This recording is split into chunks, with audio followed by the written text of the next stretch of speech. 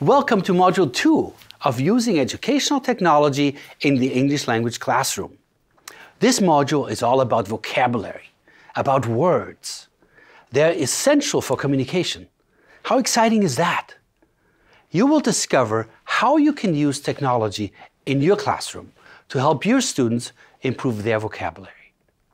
Carol will begin the lecture by highlighting the connection between technology and vocabulary in today's world.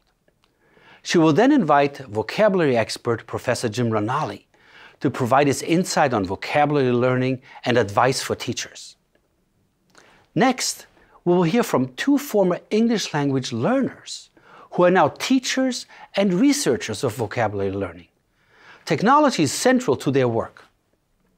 Finally, we will take a closer look at using technology for young learners with Sinem Sonsaat Hegelheimer from the Young Learners team. Be sure to visit the Vocabulary Resource Corner for readings, additional technology tools, open educational resources for teaching vocabulary, and demonstrations of how teachers use these tools.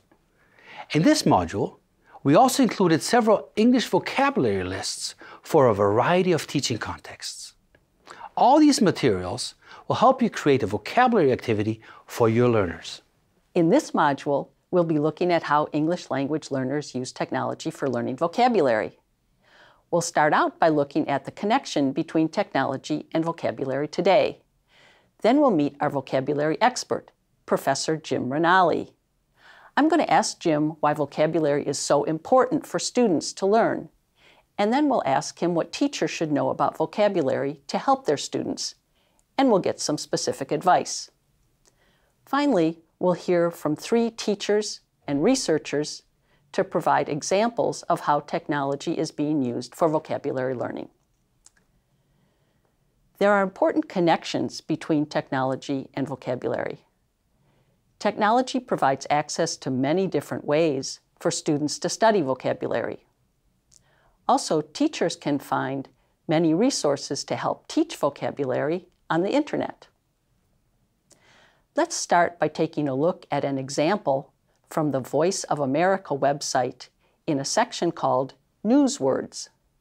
In this section, the teachers have identified important words in news stories, and they have created mini lessons about those words.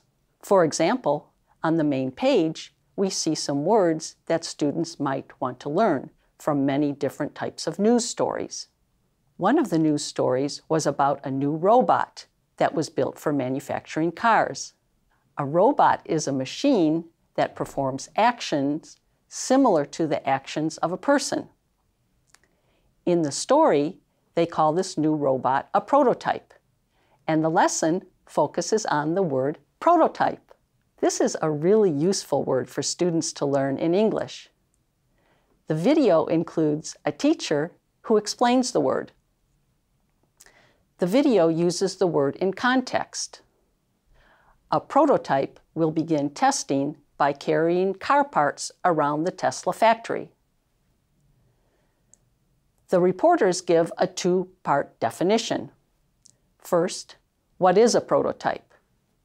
A prototype is a first, especially as a machine, from which other forms are developed or copied. Second, what is it used for? A prototype is used to test a new idea or way of doing something. And the students also have a chance to look at the word, see it in context, and hear it when they listen to the story. This is a great start for learning a word. So this is just one example of the kinds of vocabulary learning opportunities that we can find on the internet. Let's learn more about teaching and learning from our vocabulary expert, Professor Ranalli.